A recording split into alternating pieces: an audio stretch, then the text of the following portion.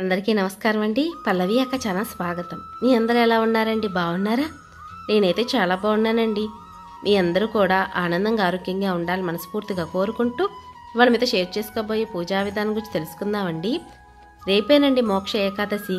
రెండు వేల ఇరవై ఒకటో సంవత్సరంలో డిసెంబర్ పద్నాలుగో తారీఖున మంగళవారం నాడు మోక్ష ఏకాదశి వచ్చిందండి. మోక్ష ఏకాదశి రోజున ఇంట్లో ఏ విధంగా పూజ చేయాలి? పాటించవలసిన నియమాలు ఏమిటి? పూజ విధి విధానం గురించి మనం ఈరోజు పూజలో తెలుసుకునే ప్రయత్నం అయితే చేద్దామండి. ఎక్కడ స్కిప్ చేయకుండా లాస్ట్ వరకు చూసే ప్రయత్నం అయితే చేయండి.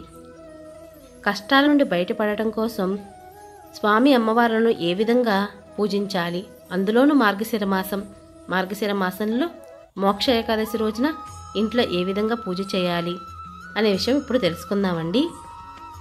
ఈ రోజున మంగళవారం కాబట్టి ముందు రోజు సోమవారం నాడి ఇల్లంతా శుభ్రపరచుకోవాలండి. ఇల్లంతా కూడా శుభ్రపరచుకొని అలాగే దేవుని చిత్రపటాలన్నీ కూడా శుద్ధి చేసుకుని అలంకరణ చేసుకుని మనం పూజకు అన్నీ సిద్ధం చేసుకోవాలి. అంటే స్వామివారికి ఎంతో ఇష్టమైన తులసి దళాలతోటి మాల అలాగే అమ్మవారికి సుగంధ పరిమళాలు అంటే ఇష్టం కదండి పువ్వులంటే. కాబట్టి సువాసన వచ్చేటువంటి పువ్వులతో అమ్మవారికి మాల కూడా ముందుగానే ఏర్పాటు చేసుకోవాలి. ఈ పూజని ఉదయమే పూజ చేసుకోవడం చాలా మంచిదండి. కుదరని వారు మాత్రమే సాయంత్రం వేళ పూజ చేయడానికి ప్రయత్నించండి. కానీ ఏకాదశి కాబట్టి ఏకాదశి వ్రతం యొక్క నియమాలు అవి ఉంటాయి కాబట్టి పాటించవలసిన నియమాలు అవన్నీ కూడా మనం పాటించాలి. పాటించదలిచిన వారు ఉదయం పూజ చేయడం చాలా మంచిది. ఈ విధంగా మీరు దేవుని మందిరం పూజ చేసుకోవచ్చండి. లేదా సపరేట్గానే పీటకం పెట్టి పూజ చేసుకోవచ్చు. నాకు చిన్న మందిరం కదండి. అందుకని మీకు సపరేట్గా పెట్టి పూజ అనేది చూపిస్తూ ఉన్నాను అనమాట నిండుగా పూజ చేసుకోవడం ఉన్నంతలోనే స్వామివారికి అమ్మవారికి అలంకరణ చేయటం లక్ష్మీనారాయణ చిత్రపటం పెట్టుకోవడం లాంటివి చేయాలి. అలాగే మా దగ్గర లక్ష్మీనారాయణ చిత్రపటం లేదండి ఏం చేయమంటారనంటే వెంకటేశ్వర స్వామి లక్ష్మీదేవి సమేతంగా ఉన్నటువంటి చిత్రపటాన్ని కూడా పెట్టుకోవచ్చండి. అలాగే లక్ష్మీదేవి అమ్మవారి విగ్రహం ఉంటే విగ్రహం పెట్టుకోండి. అలాగే మీ దగ్గర వెంకటేశ్వర స్వామి యొక్క కుంది ఉంటే ఈ విధంగా అలంకరణ చేసి అలాగే దీపాన్ని వెలిగించాలి. ఈ రోజున పిండి ప్రమిద చాలా ప్రత్యేకమండి. ఏకాదశి వ్రతం అంటేనే మనం పిండి దీపారాధన చేస్తూ ఉంటాం. వరిపిండితోటి ప్రమిదలు ఎలా చేయాలి అనే విషయం ముందుగానే వీడియో పోస్ట్ చేస్తున్నాను కదా. చక్కగా అలంకరణ చేసుకోండి. ఉన్నంతలోనే నిండుగా పూజ చేసుకోవడానికి ప్రయత్నించండి. ఇలా పసుపు కుంకుమ కూడా చక్కగా పెట్టుకుని అమ్మవారికి గాజులతోటి మాల. మనం ఏ పూజ చేసినా సరే గణపతికి కూడా పూజ చేస్తుంటాం కదా. ఆదిదేవుడైన వినాయకుని కూడా పూజించాలండి ఈ రోజున. వినాయకునికి కూడా చక్కగా పసుపు కుంకుమ గంధము అలంకరణ చేసి అక్షంతలతో అష్టోత్తరము అలాగే పువ్వులతో అలంకరణ. పండు ఫలము లేదా బెల్లం మొక్క చలిమిడి ఇలా ఏదైనా సరే స్వామివారికి నైవేద్యంగా పెట్టి పూజించాలండి. ఇలా పూజించిన తర్వాత మీకు విష్ణు సహస్రనామం వచ్చినట్లయితే చక్కగా విష్ణు సహస్రనామం చదువుకోండి. ఈరోజు చాలా చాలా మంచిది. అలాగే లలిత సహస్రనామం చదువుకోండి. లేదా గోవిందనామాలు చదువుకోండి. గోవిందనామాలు అంటే అందరికీ వస్తాయి కాబట్టి చక్కగా గోవిందనామాలు చదువుకుంటూ ఒక్కొక్క తులసి దళాన్ని వేస్తూ పూజ చేయండి. ఒకవేళ తులసి దళాలు లేవా అక్షంతలతో పూజ చేయండి. లేదా పువ్వులతో పూజించండి. వన్ రూపీ కాయిన్స్తో మీరు గోవిందనామాలు చదవచ్చు. ఇలా మనం దేనితో పూజ చేస్తున్నాం అనే విషయం కన్నా ఎంత భక్తితో పూజ చేస్తున్నాం అనే విషయాన్ని మాత్రమే గ్రహించండి. అంతేగాని ఈ పువ్వు అటు పెట్టాము ఆ పువ్వు ఇటు పెట్టాము లేదంటే మీరు అయ్యయ్యో ఏమండి మీరు ఉపవాసం చేయడానికి నియమాలు కరెక్ట్గా చెప్పలేదండి అనే కన్నా. మనం ఎంత భక్తి నమ్మకం శ్రద్ధతో పూజ చేస్తున్నామన్న అనే విషయాన్ని మాత్రమే మీరు గ్రహించి పూజ చేయడానికి ప్రయత్నించండి.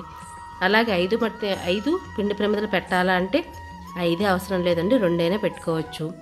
రెండు కంపల్సరీ కదా? లేదా ఐదు. ఇలా మనం బేస్ పిండి ప్రమిదలు పెట్టుకుని పూజించవచ్చు. ఇక నేను గోవిందనామాలు చదువుకుంటూ స్వామివారికి నేను తులసిదళం ఒక్కొక్కటి సమర్పిస్తూ పూజ చేస్తున్నానండి.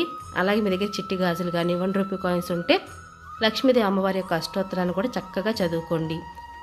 ఇలా చదువుకున్న తర్వాత ఈ రోజున ఉపవాసం కూడా ఉంటే చాలా మంచిదండి. ఒకవేళ ఉపవాసం ఆరోగ్యానికి సంబంధించింది కాబట్టి మేము ఉండగలము అనుకుంటే ఉదయం నుంచి సాయంత్రం వేళకు ఉపవాసం ఉండవచ్చండి. లేదు ఉండగలము అనుకున్న వారు సాయంత్రం వేళ కూడా ఉపవాసం ఉండి అంటే ఈ రోజంతా కూడా పొయ్యి మీద పెట్టనటువంటివి అంటే ఫ్రూట్ జ్యూసెస్ లాంటివి తీసుకోవచ్చు. చాలా మంచిది. ఇలా తీసుకొని ద్వాదశి నాడు మరుసటి రోజున మీరు పూజ చేసుకున్న తర్వాత అప్పుడు గుడికి వెళ్ళి ఉపవాసాన్ని చెల్లించడం చాలా మంచిదండి. అలాగే రాత్రి వేళ జాగరణ చేయడం కూడా చాలా మంచిది. అంటే జాగరణ అంటే రాత్రి పన్నెండు గంటల వరకు జాగరణ చేస్తే చాలా మంచిదండి. ఇలా చేసి ద్వాదశి రోజు కూడా పూజ చేసి గుడికి వెళ్ళి స్వయంపాక దానం ఇవ్వడం చాలా చాలా మంచిది. ఒకవేళ మేము ఉండలేమండి ఉపవాసం మేము చేయలేము. ఉపవాసం ఉంటేనే పూజకి పూర్తి ఫలితం దక్కుతుందా అంటే అలా ఏమీ లేదండి. మీరు ఎంత భక్తి నమ్మకంతో చేయటం అనేది మనకు ముఖ్యం కాబట్టి ఆకలితో నకనకలాడిపోతూ స్వామివారి మీద భక్తి లేకుండా ఏది తిందామా అని ఆలోచించటం కన్నా చక్కగా మీరు ఈరోజు నాన్ వెజ్ అది తినకుండా శాకాహారం తింటూ మీరు స్వామివారి యొక్క నామస్మరణ చేసుకుంటూ ఈరోజంతా ధ్యానం చేయటమే ఈ పూజ యొక్క పూర్తి ఫలితం అనేది దక్కుతుందనమాట కాబట్టి ఉద్యోగరీత్యా వెళ్ళదలిచిన వారు లేదా ఇంట్లో ఉండదలిచి పూజ చేయదలిచిన వారు ఈ విధంగా నియమాలు పాటిస్తూ స్వామివారి యొక్క పూర్తి అనుగ్రహం కోసం పూజను ఈ విధంగా చేయండి. అలాగే దీపం ధూపం నైవేద్యం స్వామివారి చక్కగా సమర్పించండి. ఈరోజు కొబ్బరికాయ కొట్టడం చాలా మంచిదండి. ఒక కొబ్బరికాయని కొట్టండి. లేదు మేము మరుసటి రోజు గుడికి వెళ్ళినప్పుడు కొడతామంటారా? అలాగైనా చేయవచ్చు అనమాట ఈ విధంగా మనం పూజ అనేది చక్కగా చేయాలండి. అలాగే జాగరణ కంపల్సరీ అంటే అలా ఏమీ లేదండి. మీరు ఉండగలము చేయగలము అనుకున్న వారు మాత్రమే ఇలా చేయవచ్చు అనమాట ఇక తులసి దళాలు లేవంటారా? పర్వాలేదండి. స్వామివారికి చక్కగా మీరు భక్తి నమ్మకం శ్రద్ధతో పూజ చేయడం ఒక్కటే ముఖ్యమని చెప్పాను కాబట్టి ఇలా పూజ చేసుకుని వడపప్పు చలిమిడి పానకము లేదా పండ్లు లాంటివి లేదా పాలతో చేసే నైవేద్యము లేదా పాలైన నైవేద్యంగా పెట్టవచ్చండి. చాలామంది అడుగుతున్నారు స్వామివారి యొక్క మా దగ్గర చిన్న విగ్రహాలు ఉన్నాయండి పెట్టుకోవచ్చు ఆ పూజలు అని. చక్కగా పెట్టుకోవచ్చండి. స్వామివారు మనం ఎంత భక్తితో పూజ చేస్తున్నాం అనేది మనం గ్రహిస్తున్నాం కాబట్టి స్వామివారి వారి విగ్రహాలు చిన్నవి ఉంటే పెట్టుకోవచ్చు లక్ష్మీదేవి అమ్మవారి విగ్రహాలు పెట్టుకోవచ్చు. అలాగే విగ్రహాలకు ప్రతిరోజు ఉండడం వల్ల ఇంట్లో అసలు నాన్ వెజ్ వండకూడదని అడుగుతున్నారండి. అలా ఏమీ లేదండి. రోజు నిత్య దీపారాధన చేసుకోవచ్చు. మీరు దైనందిన కార్యక్రమాలు ఏ విధంగా అయితే మీరు పనులు అవి చేసుకుంటారు వంట అది చేసుకుంటారో అలా చేసుకోవచ్చు. అంతేగాని విగ్రహాలు ఉన్నాయి కదా నిత్య దీపారాధన చేస్తున్నాం కదా అని అలా ఏమీ లేదండి. ఎందుకు అంటే అందరూ వెజ్ తినకపోవచ్చు. అంటే అందరూ శాకాహారులు కాకపోవచ్చు. అందరూ కూడా మాంసాహారులు కాకపోవచ్చు. కాబట్టి స్వామివారిని పూజించేటప్పుడు మాత్రం నియమనిష్టలతో పూజ చేసుకుంటూ పాటించవలసిన నియమాలను పాటిస్తూ చక్కగా ఎవరైనా ఈ పూజని చేసుకోవచ్చు. అలాగే మార్గశిర మాసంలో లక్ష్మీది అమ్మవారి యొక్క పూజ కూడా చాలా విశేషం కదండి. అలాగే మోక్ష ఏకాదశి కూడా చాలా విశేషం. అత్యంత శక్తివంతమైన మోక్ష ఏకాదశి రోజున ఉపవాసం చేయడం కూడా చాలా చాలా మంచిది. ఉండగలిగిన వారు మాత్రమే ఉపవాసాన్ని ఉండండి. లేదా మీరు ఇలా నాన్ వెజ్ అది తినకుండా వెజ్ తింటూ కూడా మీరు సాయంత్రం వేళ వరకు ఉపవాసం చేసి అంటే ఉపవాసం చేయకుండా కూడా పూజ అది చేసుకోవచ్చు. ఇలా మీరు సపరేట్గా పీటకం పెట్టుకున్నట్లయితే మరి ఈ పీటకాన్ని ఎప్పుడు తీయాలి? మీరు ఉదయం పూజ చేసుకున్నారండి సాయంత్రం వేళ కూడా దీపారాధన చేయాలి. అలాగే మరుసటి రోజు అంటే బుధవారం నాడు కూడా మీరు దీపారాధన చేసి అప్పుడు మీరు గుడికి వెళ్ళొచ్చిన తర్వాత దీపం గగనమైన తర్వాత పీటకాన్ని తీయాలండి.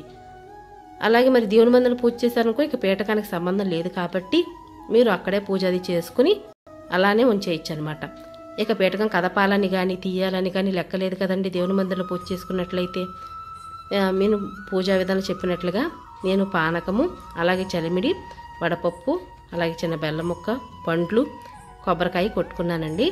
ఇలా కొట్టి పూజ చేయడం చాలా మంచిదండి. ఒక కొబ్బరికాయను కొడితే ఎందుకంటే మీరు అనుకున్న సంకల్పాలు అవి నెరవేరటం కోసం మీరు అనుకున్న కోరికలు నెరవేరటం కోసం స్వామివారి ముందు చెప్పటం అనమాట ఎందుకంటే మన అరటిపళ్ళు కానీ కొబ్బరికాయని కానీ ఏ పూజలైనా సరే ఉపయోగించడం చాలా చాలా మంచిదండి. ఎందుకంటే స్వామివారికి చాలా ఇష్టం కూడా. మనం భగవంతుని స్మరించేటప్పుడు పెట్టవలసిన పండులు అతి ముఖ్యమైన పండు అరటిపండు అలాగే ఏదన్నా మనం కాయ లాంటిది స్వామివారి సమర్పించాలి అనుకున్నప్పుడు కొబ్బరికాయ చాలా మంచిదండి. ఈ విధంగా మనం మోక్ష ఏకాదశి రోజున నియమనిష్టలతో పూజించి స్వామి అమ్మవారి అనుగ్రహం కోసం ఈ పూజను ఇలా చేయాలండి. ఇలానే పూజ చేయాలి. ఇంత బాగా మనం పువ్వులవి పెట్టాలనేమి లేకపోయినా కూడా ఉన్నంతలోనే మనం పూజ చేసుకోవటం. అలాగే భక్తి నమ్మకం శ్రద్ధతోటి పూజించటం. మీరు అనుకున్న సంకల్పాలను స్వామివారి ముందు ఉంచడం లాంటివి చేసి పూజ చేసుకోండి. అలాగే ఈ పిండి దీపాలను ఏం చేయాలని అడుగుతారేమో? ఈ పిండి దీపాలు అవి ఆవుకు పెట్టండి. ఎందుకంటే ఇందులో ఎక్కువ కొద్ది బెల్లం వేసి చేస్తాం కాబట్టి ఆవు తింటుంది. ఒకవేళ ఆవు తినలేదా పారే నదిలో కానీ లేదా నీటిలో బా బావిలో కానీ వేయవచ్చు. ఇదండి ఈరోజు పూజా విధానం.